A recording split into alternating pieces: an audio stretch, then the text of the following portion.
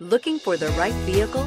Check out the 2007 Grand Prix. The Grand Prix has come a long way since its original introduction in the early 1960s. But one thing that hasn't changed over the years is the Grand Prix's quality built, powerful performance. With either a V6 or V8 engine and a driver friendly cockpit, the Grand Prix is a fun ride. This vehicle has less than 140,000 miles. Here are some of this vehicle's great options keyless entry, power steering, adjustable steering wheel, driver airbag, aluminum wheels, cruise control, AM FM stereo with CD player, four wheel disc brakes, rear defrost, AM FM stereo radio.